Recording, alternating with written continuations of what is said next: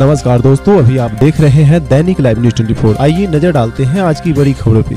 लखनऊ से प्रभात कश्यप की रिपोर्ट, लखनऊ के नाका थाना क्षेत्र के अंतर्गत बिरहाना पार्क के निकट मिला कोरोना पॉजिटिव। व्यक्ति का नाम शांति स्वरूप उर्फ़ गुड्डू। केबल वाले कई दिनों से बुखार और खांसी आने से मोहल्ले वालों ने दी थी सूचना। दो दिन पहले मेडिकल की टीम ने ले जाकर करवाया था। जाँच जाँच के बाद उसको वापस घर भेज दिया गया था। आज मरीज़ के पॉजिटिव की पुष्टि होने पर मरीज़ को लेने पहुँची मेडिकल टीम। उसके घर पूरे एरिए को किया जाएगा शील मोहल्ले एवं घर वालों की जाँच के लिए मौके पर पहुँची मेडिकल की टीम।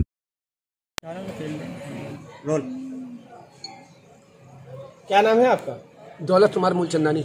आपके क्षेत्र में एक आदमी है जिस जिसकी रिपोर्ट आई है पॉजिटिव कोरोना पॉजिटिव। जी जी। आपके यहाँ भी आया था? जी, जी, तो वो। कौन है? कैसे आया? कैसे आया वो टेबल का काम करता है। उसका नाम है रुड्डू मिश्रा। शांति स्वरूप मिश्रा। कल शाम को मेरी शॉप पे आया था। तो मैंने उससे कहा थोड़ा दूर रहो। तो तुरंत भड़क गया। कहता मेरी जाँच हुई है तो ये अभी ऐसी रिपोर्ट नहीं आई है बस। अब आज उसकी रिपोर्ट आज रिपोर्ट आई है, उसकी आई है। जी, जी, आज बाद आई है। क्या लग रहा है? तो अब जाँच करें सर आप ही बताएँगे क्या है।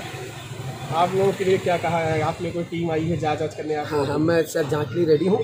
आप हमारे करें जो दुकान पर जॉब करते हैं बच्चे उनका करें जाँच कोई प्रॉब्लम नहीं है।